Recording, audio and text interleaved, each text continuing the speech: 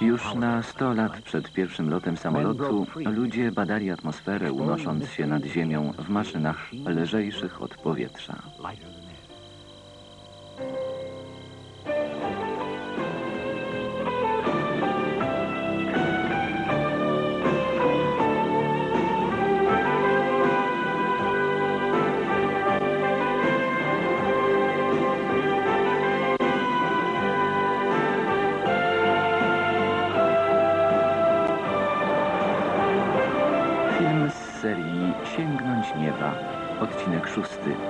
Lżejsze od powietrza. Narrator Robert Vaughn.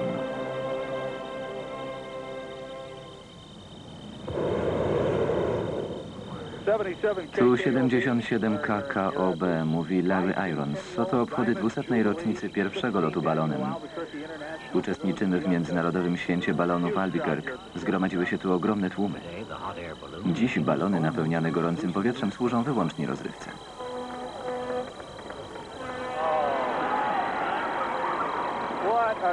Co za pokaz.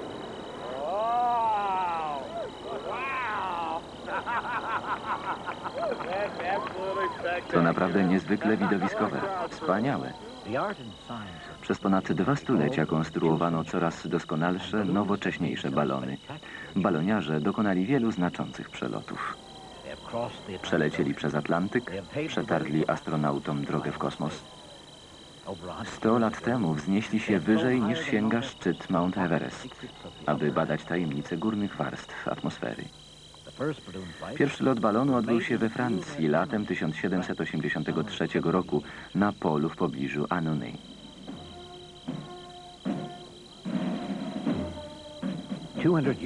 Minęło już 200 lat, a miasto nadal czci pamięć braci Montgolfier, organizując widowiskowe pokazy pierwszego lotu. Francja jest dumna, że stała się kolebką lotnictwa.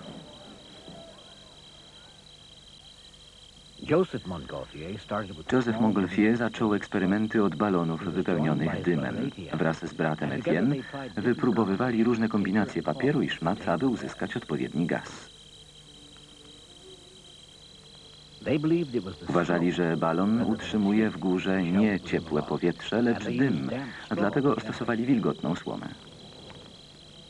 Dołączył do nich jako pilot arystokrata François Pilatre de Rosier. W listopadzie mieli gotowy balon mogący unieść dwóch ludzi.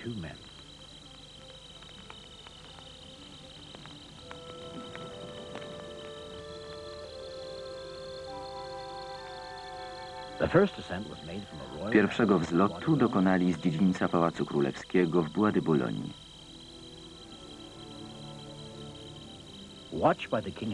De Rosier wraz z markizem d'Arlande, obserwowani przez króla i królową, unieśli się wolno w powietrze.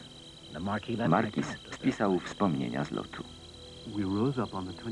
Unieśliśmy się 21 listopada 1783 roku, 6 minut przed drugą po południu.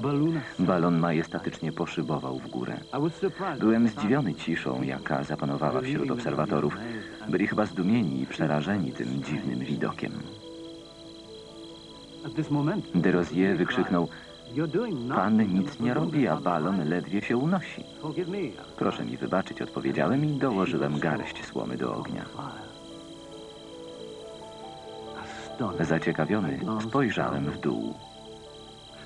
Tu jest rzeka, rzekłem do mego towarzysza.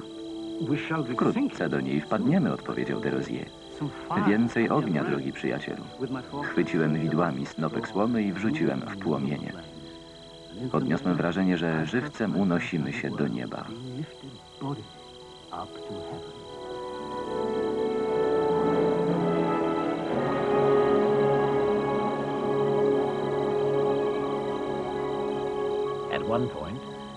W pewnej chwili zaczęliśmy się palić. Tliła się powłoka balonu. Markis ugasił ją wilgotną szmatą.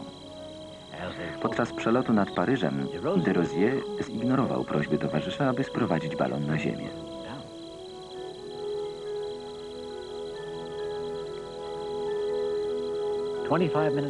Po 25 minutach wylądowali bezpiecznie około 8 km od miejsca startu. Lot wzbudził sensację tak w Paryżu, jak i na świecie. Po stuleciach prób człowiekowi udało się wzbić w powietrze.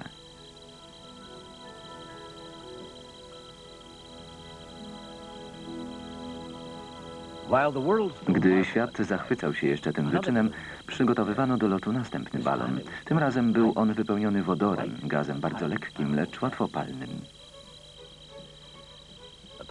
Pilotem był profesor Jacques Charles z Akademii Nauk.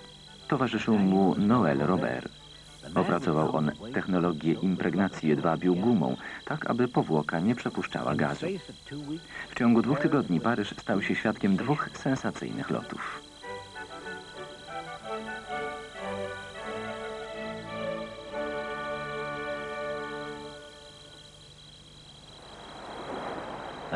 Następnym wielkim wyzwaniem dla baloniarzy stał się przelot nad 35-kilometrowym kanałem oddzielającym Francję od Anglii. Francuski baloniarz Jean-Pierre Blanchard namówił doktora Johna Jeffreysa, Amerykanina zamieszkałego w Anglii, aby finansował to przedsięwzięcie. Pewnego styczniowego dnia w 1785 roku obaj wystartowali z Dover. Aby odciążyć balon, musieli wyrzucić wszystko, nawet część garderoby. Wiatr im sprzyjał i dolecieli do Francji. Byli pierwszymi ludźmi, którzy przebyli kanał drogą powietrzną. François Pilatre de Rosier również próbował tego dokonać. Jego balon zapalił się jednak i pilot zginął. Jego śmierć się zakończyła pierwszy rozdział w historii lotów załogowych.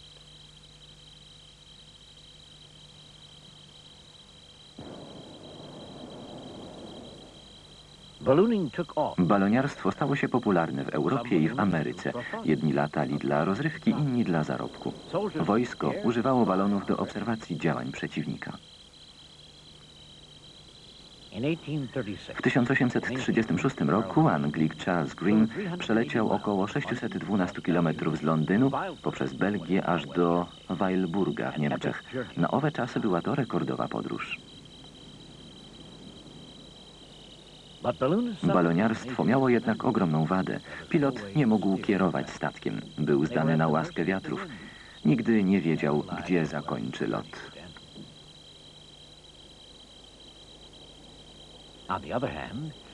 Balony pozwalały jednak odbywać loty na bardzo duże wysokości. Stanowiły idealne narzędzie do badania atmosfery, zmian temperatury, ciśnienia i wilgotności zachodzących wraz ze zmianą wysokości.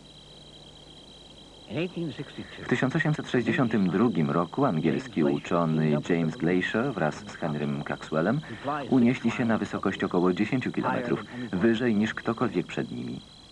Dziś na takie wysokości zabiera się tlen. Oni go nie mieli.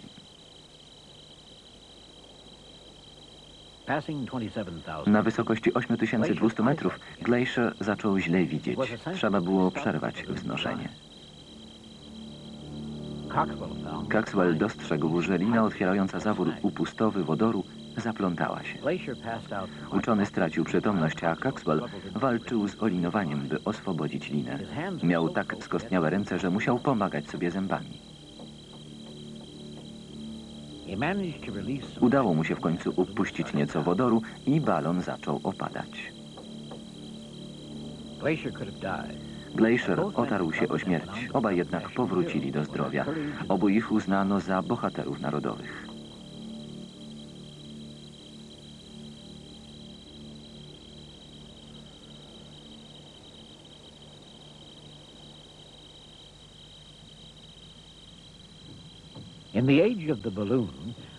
Wielokrotnie podejmowano próby wyposażania balonów w napęd i urządzenia sterownicze.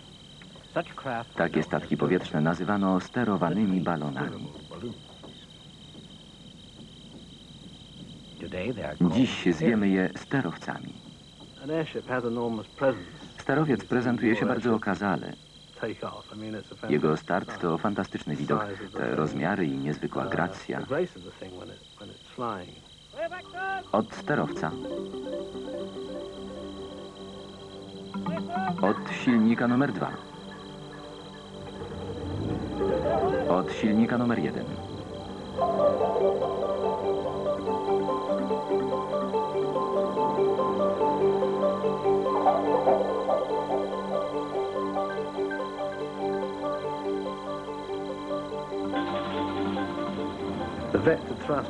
Przez wiele lat niski poziom technologii nie pozwalał na uzyskanie skutecznego, wyraźnie ukierunkowanego ciągu. Śmigła podnoszone na czas startu pod kątem 45 stopni zgrabnie unoszą sterowiec, tak że rozbieg jest nie dłuższy niż 30-60 cm.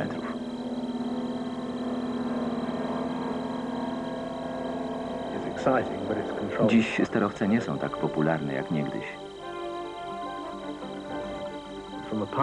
Latanie sterowcem różni się znacznie od latania innymi maszynami.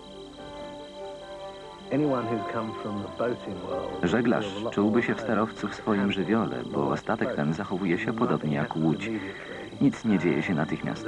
Reakcja na ruch sterów jest powolna, ale narasta i wkrótce trzeba przeciwdziałać sterami, by uzyskać żądaną prędkość zakrętu. Konstrukcja sterowców powoduje, że są trochę niestabilne i mają tendencję do schodzenia z wyznaczonego kursu. W odróżnieniu od łodzi są sterowane nie tylko w płaszczyźnie poziomej, lecz i w pionowej. Pilot ma do dyspozycji specjalną kolumnę sterową. Kierunek zmienia się osadzoną na kolumnie kierownicą, tak jak w samochodzie. Gdy popycha się kolumnę do przodu, stery wysokości wychylają się w dół, kierując jednocześnie w dół dziób sterowca i powodując jego zniżanie. Pilotowanie sterowcem nie zawsze było tak łatwe.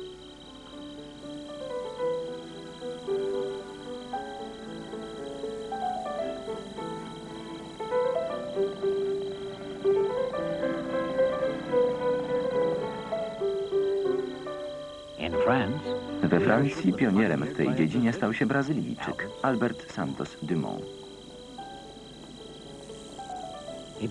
Zbudował szereg kruchych, niedoskonałych jeszcze statków.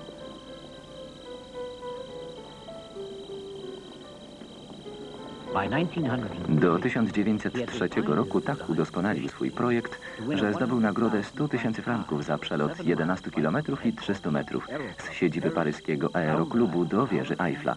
Okrążył wieżę i wrócił do klubu.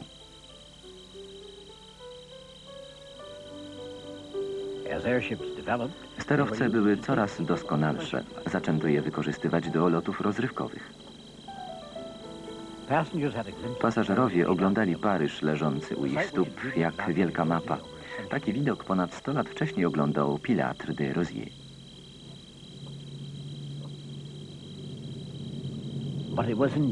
Największe sukcesy w budowie sterowców osiągnęli jednak Niemcy, sąsiedzi Francji i rywale Francuzów.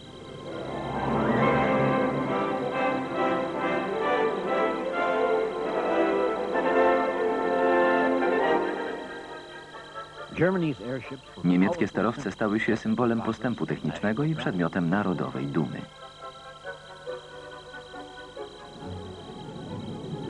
Były ogromne. W odróżnieniu od sterowców francuskich były sztywnymi, ażurowymi konstrukcjami z lekkiego metalu, wypełnionymi balonetami z wodorem. Ojcem niemieckich sukcesów w tej dziedzinie był arystokrata, oficer kawalerii, hrabia Ferdynand von Zeppelin. von Zeppelin. When the shadows of war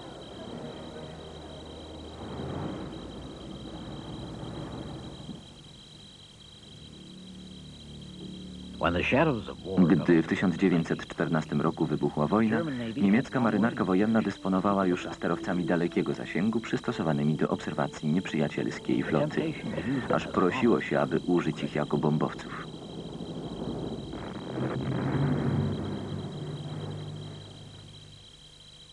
In 1915, W 1915 roku Niemcy zbombardowali Jarmuth, miasteczko na wybrzeżu Anglii, zabijając cztery osoby. Był to pierwszy w historii atak bombowy na obiekty cywilne. Brytyjczycy zestrzelili kilka cepelinów podczas nalotów dziennych. Niemcy zdecydowali się więc na loty nocne. Lot po ciemku był wspaniały. Czasami byliśmy pewni, że nikt nas nie zauważył, gdy nagle chwytał nas snop światła reflektora szperacza.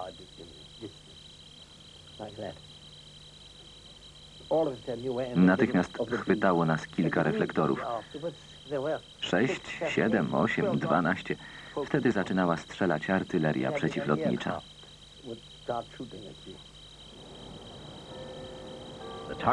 Celem nalotów był Londyn. Wielkiej Brytanii broniły myśliwce, reflektory i artyleria przeciwlotnicza, co bardzo utrudniało życie dowódcom sterowców. Byliśmy szczęśliwi, gdy odnajdywaliśmy Londyn. Jeszcze szczęśliwsi, jeśli udało się zrzucić bomby, a najszczęśliwsi, gdy mogliśmy wreszcie wracać co tchu do domu.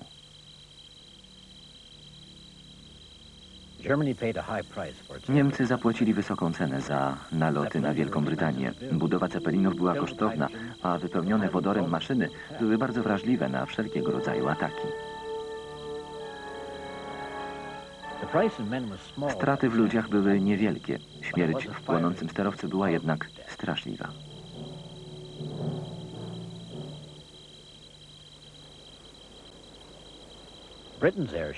Brytyjskie sterowce były niewielkie i nie miały sztywnej konstrukcji. Patrolowały wody przybrzeżne i obserwowały ruch okrętów wojennych. Ich start dostarczał załodze wiele rozrywki. Podmuchy wiatru próbowały unieść sterowiec albo przechylić go. Trzeba było kilkunastu silnych ludzi, by trzymać maszynę. Często podmuch bywał tak nagły i silny, że sterowiec wlókł za sobą wiszących na linach ludzi. W końcu jednak udawało się jakoś go uspokoić i wyrównać. Byłem w zespole mającym wypuścić sterowiec. Umieszczono po trzech ludzi przy każdej burcie gondoli. Gondola miała zamocowane po bokach bomby, trzeba więc było uważać. Padła komenda do startu. Miałem na sobie zwykłą bluzę i gdy sterowiec się unosił, zaczepiła o nią uszkodzona brzechwa bomby zawieszonej po lewej stronie gondoli i uniosło mnie w górę. Szczęściem na wysokości 3,5 metra bluza rozdarła się i bęcnąłem na ziemię. Ucierpiała na tym bardziej moja duma niż ciało. Wysokość można było łatwo zmieniać za pomocą steru wysokości. Podobnie łatwo było wykonywać zwroty sterem kierunku. Pilot dysponował czymś w rodzaju koła sterowego, tak jak sterling na statku. Do sterów prowadziły cięgła z drutu, które czasem zrywał podmuch wiatru. Utrata sterowania zwykle kończyła się katastrofą. being so slow moving. Przy nieznacznych prędkościach, gdy zjawiał się w okolicy nieprzyjacielski samolot, sterowiec stawał się łatwym celem. Sterowce operujące w rejonach działań samolotów wroga uzbrajane były więc w karabiny maszynowe Vickersa lub Lewisa.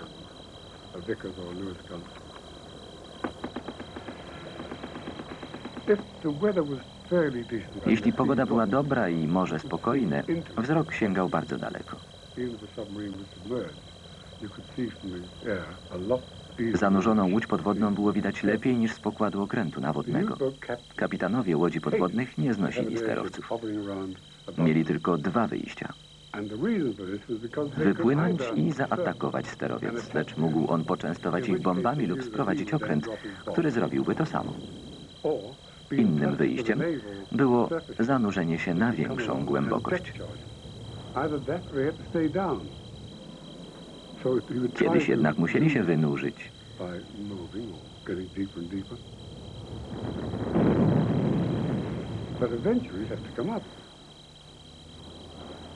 Uczestniczyłem kiedyś w locie patrolowym.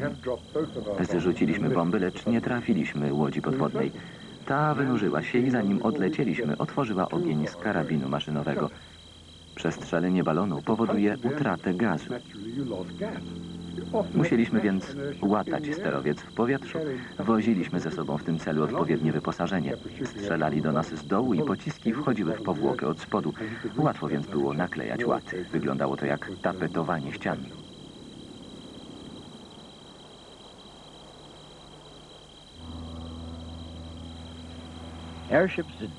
Sterowce były bardzo przydatne. Zbierały informacje i przekazywały je flocie. Były jednak duże, powolne i mało odporne na atak. Pod koniec wojny stały się bronią przestarzałą.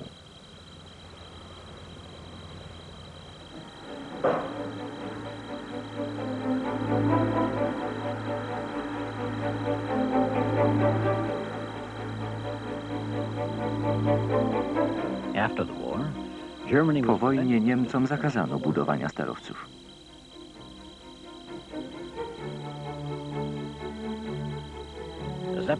Fabryka Cepelina budowała więc sterowce dla marynarki wojennej Stanów Zjednoczonych.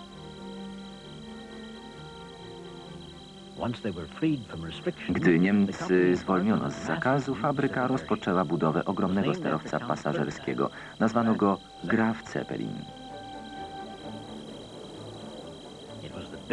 Był największym sterowcem na świecie. Niemcy, bardzo dumni ze swych osiągnięć, objęli wkrótce przodownictwo w pasażerskich przewozach sterowcami. Odbywali regularne przeloty przez Atlantyk i do Ameryki Południowej.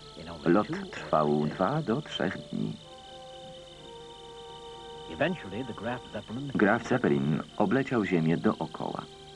Podczas lotu warunki były naprawdę luksusowe. Pasażerów popychano do góry po kilku schodkach. I nagle człowiek czuł, że znajduje się w Cepelinie. Siedziało się w gondoli zwisającej pod ogromnym kadłubem. Wyglądała na maleństwo, dopóki się do niej nie weszło. W rzeczywistości miała 55 metrów długości. Kiedy wystartowaliśmy, czułam lekkie kołysanie, tak jak w łodzi kołyszącej się na falach. Nie czułam jednak, że się wznosimy.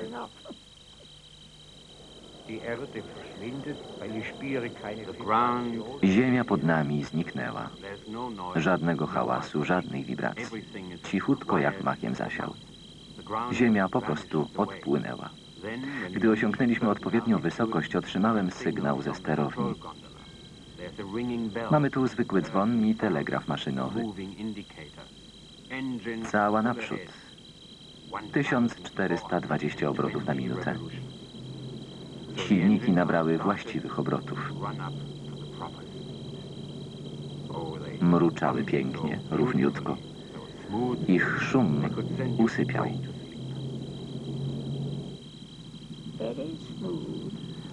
Było cicho. Wszystkie hałasy były wytłumione. To była doskonała maszyna. W najlepszym niemieckim stylu. Kontaktowali się z nami tylko oficerowie. Przychodzili, rozmawiali z pasażerami. Obsługi Cepelina pasażerowie nie widywali.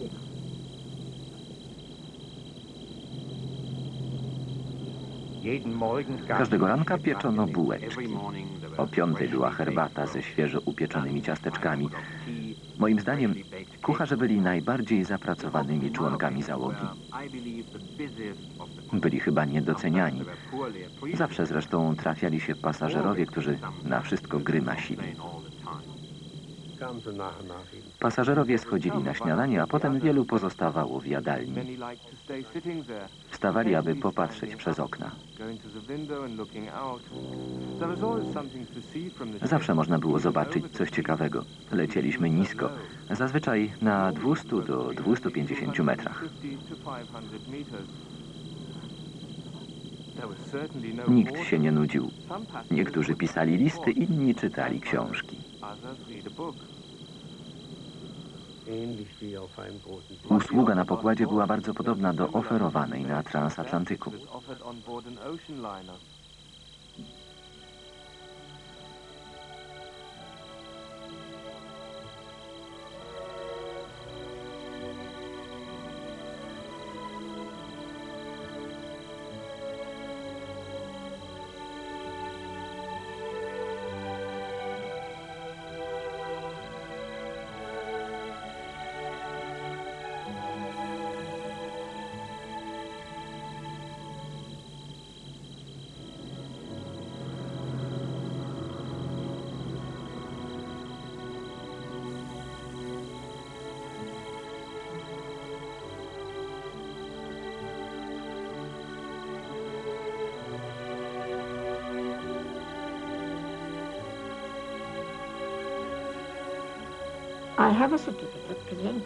Przechowuje wręczony przez Eola, boga wiatrów, dyplom potwierdzający przekroczenie równika na pokładzie Cepelina.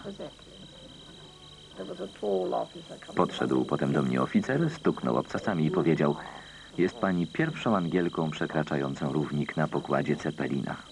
Gratuluję. Czy nie zechciałaby pani zwiedzić Cepelina?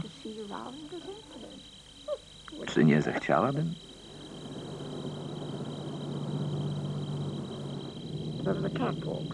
Wąski pomost prowadził przez całą długość statku, od dzioba do ogona.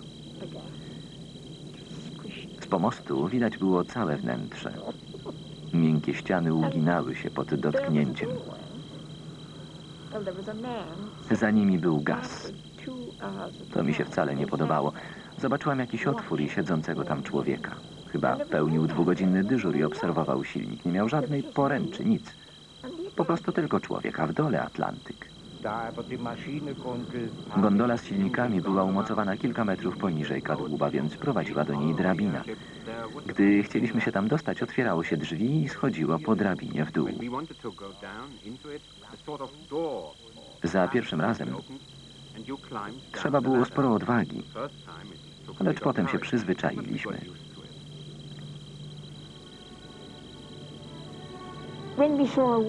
Widzieliśmy, jak rekiny atakowały wieloryba. Lecieliśmy dostatecznie nisko, by zobaczyć szczegóły, nawet krew. To było straszne. Człowiekowi zdawało się, że może dotknąć gór. To było cudowne. Szybowało się tak lekko jak we śnie.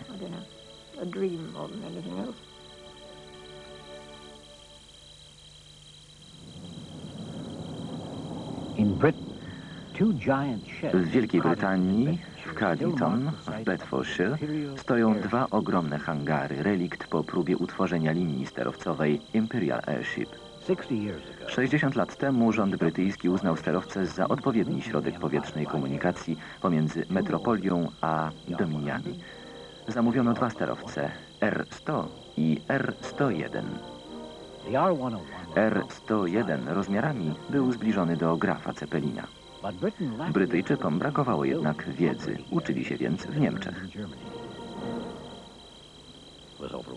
Sterowiec był za ciężki, a powłoka przepuszczała gaz.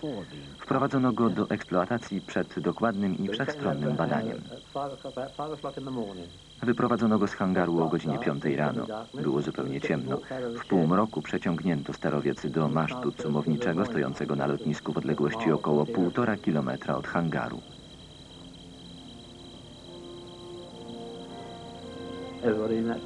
Wszyscy uważali, że to początek nowej ery pasażerskich przelotów dalekiego zasięgu. Luksusowe podróże znacznie szybsze od morskich.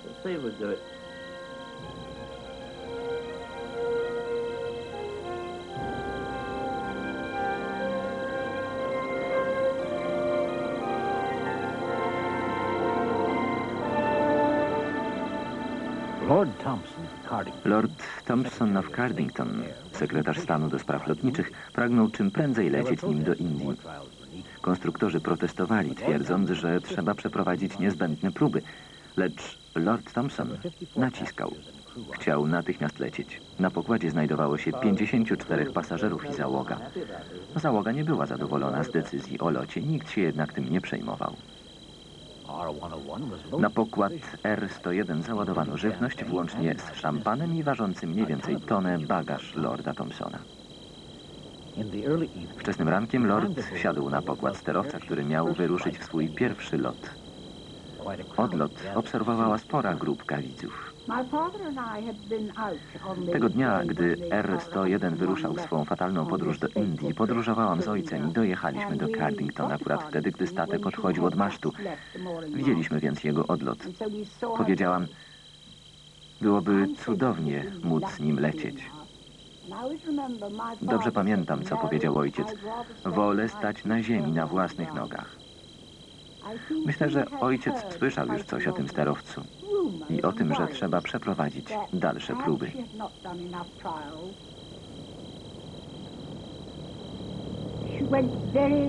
Sterowiec odszedł powoli, nabrał wysokości i zginął nam z oczu.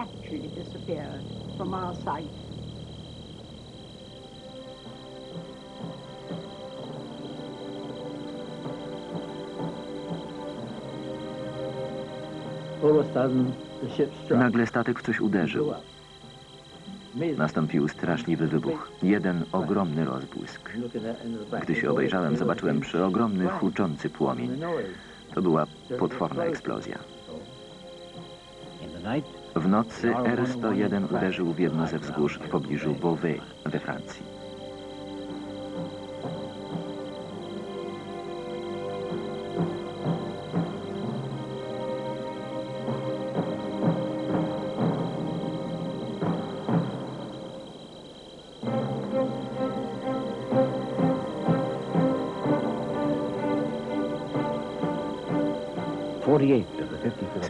54 osób znajdujących się na pokładzie, 48 wraz z Lordem Thompsonem zginęło w płomieniach.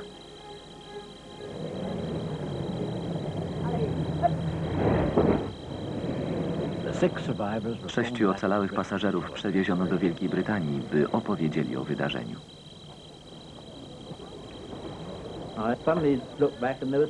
Obejrzałem się do tyłu i zobaczyłem iskry. Nagle poczułem, że pieką mnie ręce.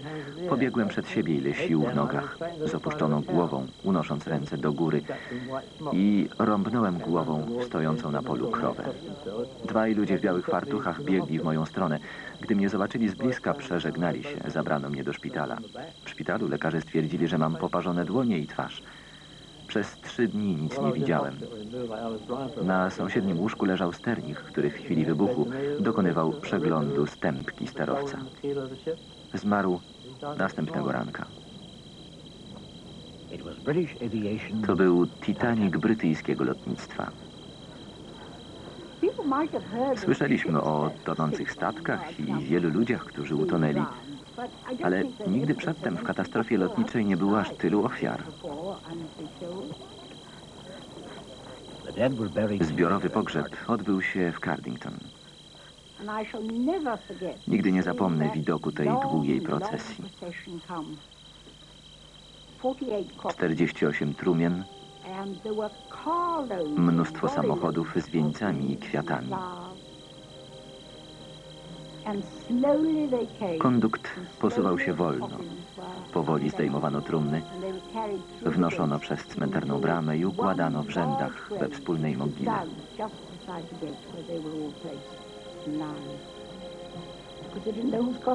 Nikt nie wiedział, która trumna jest czyja. Zwłoki były straszliwie zwęglone. Nigdy nie wykryto przyczyny katastrofy. Drugi sterowiec R-100 zdemontowano. Zarzucono także pomysł zorganizowania linii Imperial Airship. Inni nie zrezygnowali jednak z prób. Katastrofa R-101 zachwiała moimi przekonaniami co do przydatności sterowców i ich wartości jako środka komunikacji międzynarodowej i transportu transoceanicznego. Admirał William Moffat był szefem programu sterowcowego amerykańskiej marynarki wojennej. Amerykanów rozpierała duma. Ćwierć miliona ludzi przyglądało się w sierpniu 1931 roku uroczystości, na której żona prezydenta Hoovera była matką chrzestną sterowca Akron. Uroczystość się odbyła, lecz admirał Moffat nadal nie był przekonany do sterowców. Admirał musiał walczyć o pieniądze. Trzeba było stanąć przed kongresem i przekonać jego członków, że powinni dać nam pieniądze na budowę sterowca. Moffat był stanowczy i pieniądze dostał. Koszt budowy wynosił 3,5 miliona dolarów. Dziś takiego sterowca nie można zbudować nawet za 200-300 milionów. Dla Moffata sprawa była oczywista. Sterowce miały być patrolowcami dalekiego zasięgu. Celem zwiększenia skuteczności działania instalowano na ich pokładzie samoloty. Sterowiec był wyposażony w wysięgniki, na których zawieszano samoloty. Z wysięgnika samolot opuszczano na mniej więcej 6 metrów poniżej kadłuba. Pilot uruchamiał silnik, zwalniał samolot z zaczepu i odlatywał. Na pokładzie niektórych sterowców znajdowały się aż cztery samoloty. Odlatywały one na znaczne odległości i powracały z meldunkami. Wewnątrz sterowca mieliśmy hangar. Wracający z lotu pilot zaczepiał samolot na wysięgniku, po czym wraz z maszyną wciągano go do hangaru.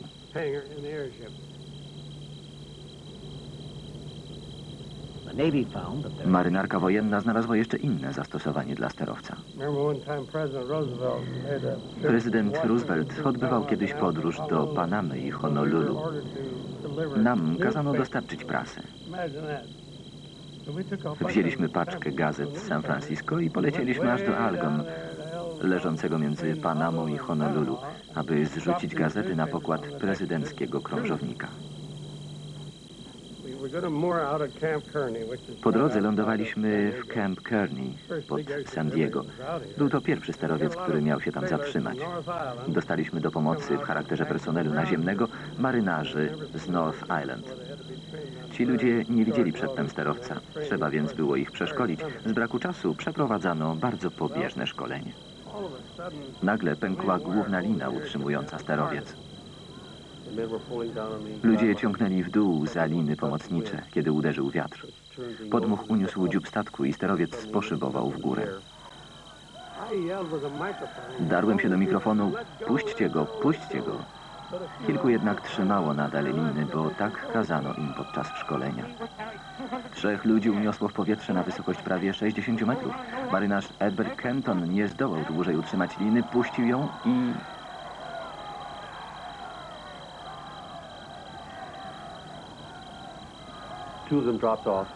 Dwóch odpadło od lin, jeden runął blisko nas. Widzieliśmy, że jeszcze jeden trzymał się wiszącej ze sterowca liny. Okazało się potem, że jedną ręką trzymał się liny, a drugą obwiązał się nią w pasie. Dzięki temu się uratował. To, że człowiek był w stanie utrzymać się liny jedną ręką, a drugą obwiązać się nią w pasie, wywarło na mnie największe wrażenie. Próbowaliśmy powtórzyć ten eksperyment na linie zaczepionej na drzewie. Żaden z chłopaków tego nie zrobił. Nie miał dość siły. To było niesłychane. Czemu nie skoczyłeś, kiedy zobaczyłeś, że lina cię unosi? Myślałem, że to minie. Nie chciałem skakać innym na głowy. Co czułeś, gdy cię wciągnęli do Akrona? To było wspaniałe uczucie, wreszcie znaleźć się wewnątrz.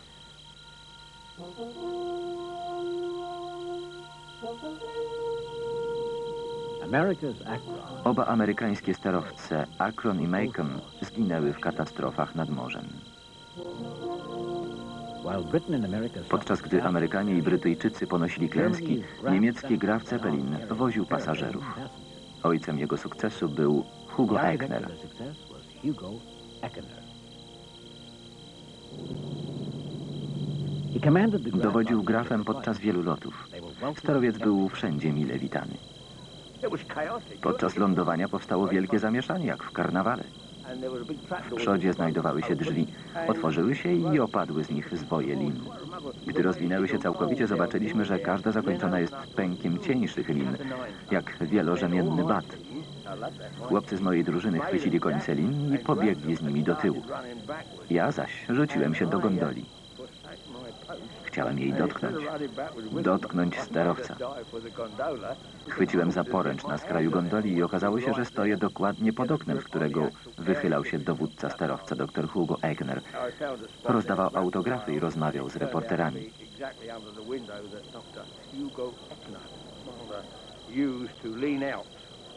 Patrząc na niego, czułem, że patrzę na mózg Cepelina. Eckner był dla mnie Bogiem.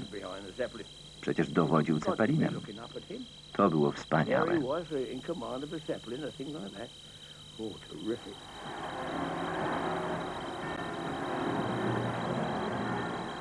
Gdy władzę objął Hitler, zakłady Cepelina przeszły pod zarząd państwowy. Tylko Hugo Eigner odważył się sprzeciwić nazistom. Autorytet doktora Ecknera był tak wielki, że nawet Hitler musiał zostawić go w spokoju. Gdy odbywały się pochody na cześć Hitlera, dr Eckner brał w nich udział, lecz nigdy nie pozdrawiał Führera nazistowskim Heil Hitler. Odmówił podporządkowania się Hitlerowi. Nazistowskie pieniądze pozwoliły na ukończenie największego niemieckiego sterowca, Hindenburga. Eckner chciał użyć niepalnego helu, ale Amerykanie mieli monopol na ten gaz. Nasz rząd odmówił sprzedaży hitlerowskim Niemcom helu i jestem pewien, że decyzja zapadła na najwyższym szczeblu. Podjął ją chyba sam prezydent.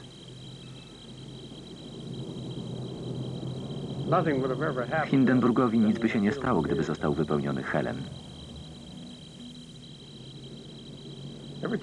Za każdym razem, gdy Hindenburg lądował w Nowym Jorku, reporterzy i fotografowie gromadzili się tłumnie, aby obejrzeć to wydarzenie. Podróż ogromnie mi się podobała. To była prawdziwa rewelacja. Sterowiec latający przez Atlantyk to jest coś. You had a wonderful flight.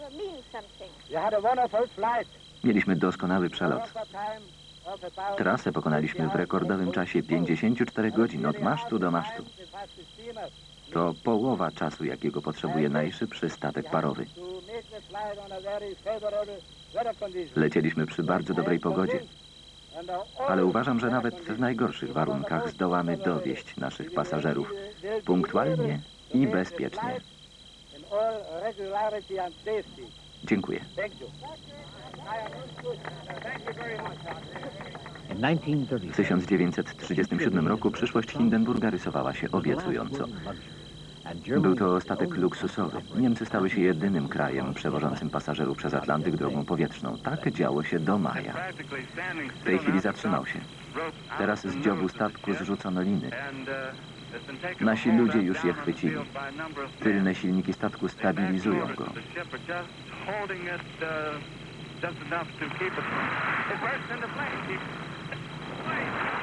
Stanął w płomieniach.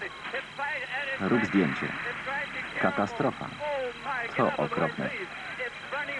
Płomienie. Płonie żywym ogniem. Opada na ludzi, którzy go trzymali i oni wszyscy... To straszne. To jedna z najstraszliwszych katastrof w świecie. Płomienie sięgają 120-150 metrów. Proszę Państwa, to straszliwa katastrofa. Dym i płomienie. Szkielet statku łamie się i opada na ziemię, nie tylko w pobliżu masztu. To jest... To jest... Nie mogę mówić. Pozostała kupa dymiącego szmelcu. I, I can't talk, ladies and gentlemen. Honest, it's just laying there, massive smoking wreckage.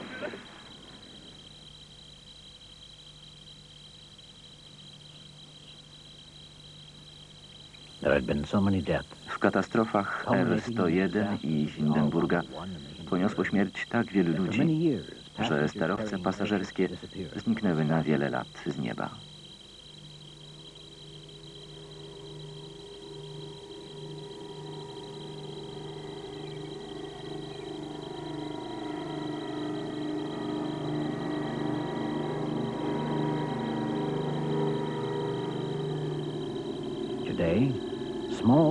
Małe sterowce napełnione helem znów pojawiają się nad wieloma miastami.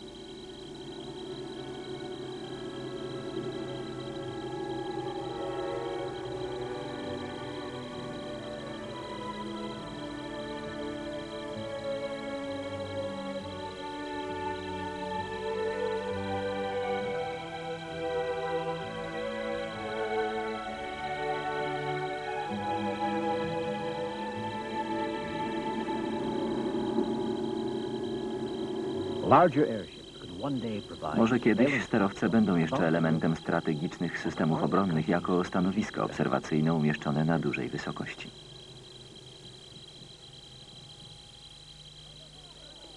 In the 1930s, W latach 30. naszego stulecia balon zastosowano ponownie jako narzędzie służące do badania atmosfery. Szwajcarski fizyk August Picard zbudował hermetyczną gondolę. W 1931 1931 roku wzniósł się na wysokość 15 800 metrów, aż do stratosfery, ustanawiając nowy rekord świata. Tak jak dla Coxwella i Glaciera 70 lat wcześniej, lot był dla niego wielką przygodą. Uczony pozostał w górze przez całą noc, a następnie wylądował na alpejskim lodowcu. Rok później pobił własny rekord i dostarczył informacji o naturze promieni kosmicznych. Zyskał międzynarodowe uznanie i sławę. Zaczęło się współzawodnictwo w lotach na duże wysokości. Związek Sowiecki i Stany Zjednoczone rywalizowały w zdobywaniu rekordów. In 1930 W roku 1933 sowieccy baloniarze pobili rekord świata, wznosząc się na wysokość ponad 17,5 km. W dwa miesiące później Amerykanie odpowiedzieli następnym rekordem wysokości 18,5 km. Podczas kolejnego lotu gondola sowieckiego balonu oderwała się i spadła na ziemię. Trzej baloniarze ponieśli śmierć.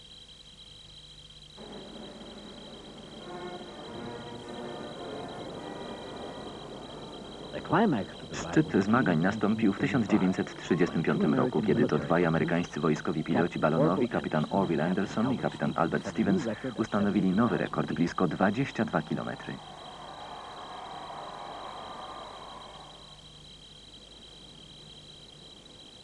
Tego rekordu nie pobito aż do II wojny światowej.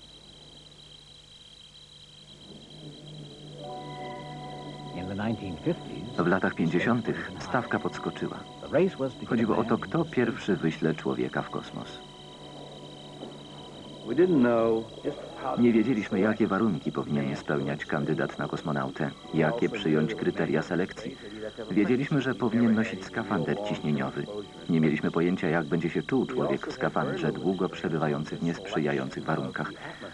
Mieliśmy także niewielkie doświadczenie w stosowaniu i doborze odpowiedniego składu mieszanki gazów do oddychania. Część doświadczeń przeprowadzono w warunkach nieważkości, sztucznie wytworzonych w samolocie wprowadzonym na specjalny tor lotu. Pewne eksperymenty jednak można było przeprowadzić tylko na dużej wysokości w balonie. Rozumieliśmy, że człowiek będzie musiał czasem opuścić w kosmosie pojazd, zostanie zmuszony do poruszania się w przestrzeni kosmicznej lub na Księżycu. Nigdy tego nie robiliśmy, nikt nie wychodził w przestrzeń kosmiczną, ani nie znajdował się w przestrzeni pozbawionej powietrza. Musieliśmy także opracować sposób, w jaki w razie katastrofy kosmonauta mógłby wrócić na Ziemię. Należało dokonać próby. Wiedziałem, że jeśli ze skafandrem stanie się coś złego, to zginę. Ubrany w skafander, wyposażony w spadochron, kamerę filmową i aparat do oddychania, Joe Kittinger miał wznieść się balonem na wysokość ponad 30 km i w odpowiedniej chwili wyskoczyć.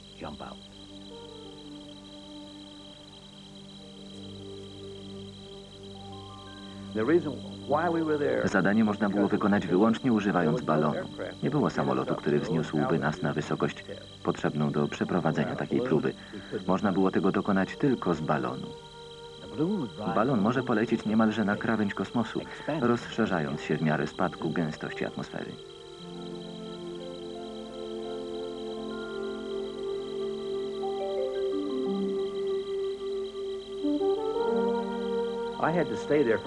Musiałem czekać prawie 11 minut, aż balon znajdzie się nad miejscem, nad którym miałem wyskoczyć. Przed opuszczeniem kapsuły miałem wykonać około 45 czynności. Moja instalacja tlenowa musiała się przed skokiem odłączyć od instalacji kapsuły. Trzeba było więc zamocować przewód startowy, który umożliwiał to przełączenie w chwili skoku. To była najważniejsza próba i znalazłem się tam po to, aby ją przeprowadzić. Byłem bardzo podniecony.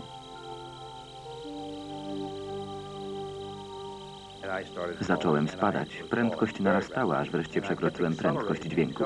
Na wysokości około 27,5 km wpadłem w atmosferę, która stawała się coraz gęstsza i spadałem coraz wolniej. Wstrząs towarzyszący otwarciu spadochronu przyniósł ulgę. Oznaczał koniec eksperymentu, przynajmniej dla mnie. Joe Kittinger skoczył z wysokości ponad 31 km. Do dziś jest to rekord wysokości skoku ze spadochronem i chyba długo nie zostanie pobity. Działalność najlepszych uczonych baloniarzy w amerykańskim programie kosmicznym zakończyła się w roku 1961 rekordem wysokości około 34,5 km. Uzyskano go podczas prób skafandrów dla załogi Merkurego. Ten rekord nie został pobity.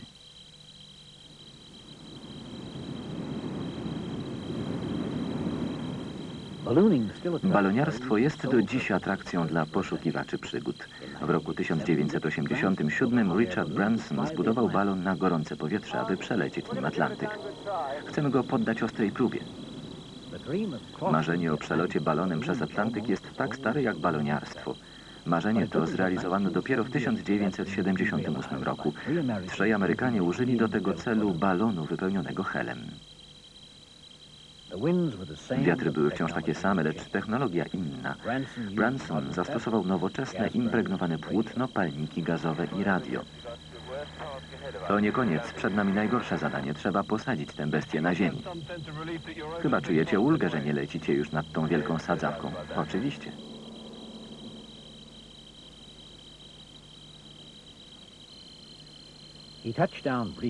Ponieważ balon utracił więcej gazu niż zakładano, wylądowali w północnej Irlandii, ale Branson chciał koniecznie wylądować na terytorium brytyjskim. Los zrządził inaczej. Balon Virgin Atlantic osiadł na morzu między Irlandią i Szkocją. Bransona i jego pilota, Pera Lindstranda, wyratowano.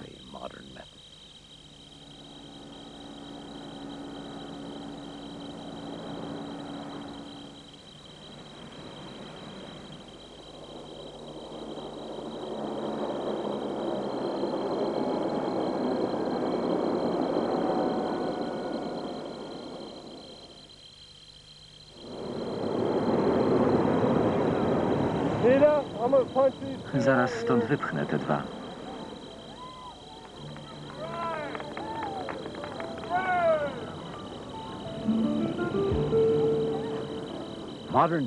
Nowoczesna technika sprawiła, że loty balonem napełnionym gorącym powietrzem są obecnie bardzo bezpieczne.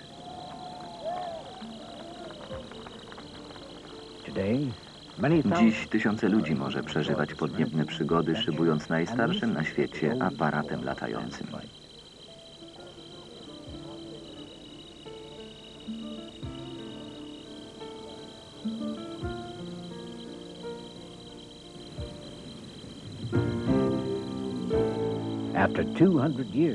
Zawody balonowe nadal przyciągają tłumy widzów. Ludzie śledzą je z ciekawością.